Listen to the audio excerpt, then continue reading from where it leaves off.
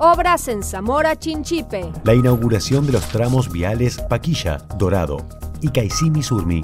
Proyectos que conectan a los cantones Centinela del Cóndor, Paquilla y Nangaritza al desarrollo productivo y al anillo vial del país. Esta obra, que estuvo retrasada casi un año por la resistencia de la prefectura a entregar los estudios, ya es una realidad gracias al trabajo del gobierno nacional. Los proyectos viales Paquilla Dorado y Guaycimi Surmi tuvieron una inversión de 3.2 y 7.3 millones de dólares respectivamente, que fueron financiados con las regalías anticipadas del proyecto minero Mirador. El ministro coordinador de sectores estratégicos, Rafael Poveda, destacó el papel de Ecuador Estratégico, EP, que en Zamora Chinchipe ha ejecutado 178 proyectos que ascienden a un total de 106.9 millones de dólares. Ecuador Estratégico ha ejecutado 1.209 proyectos a escala nacional, con una inversión cercana a los 943 millones de gracias a los recursos de los excedentes petroleros y mineros.